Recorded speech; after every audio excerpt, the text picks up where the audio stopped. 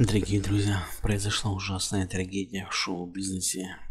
А перед началом просмотра видео сначала подпишитесь на наш канал, чтобы не пропускать интересные новости.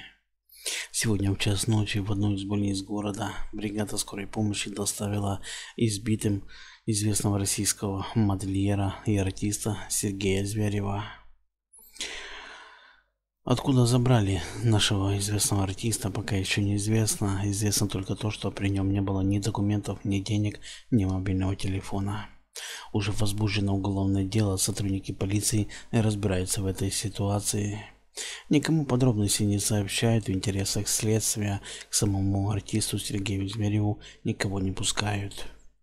Будем надеяться, друзья, на то, что врачи рано или поздно выйдут с нами на связь и сообщат нам подробности. Мы очень все сильно переживаем за Сергея Зверева.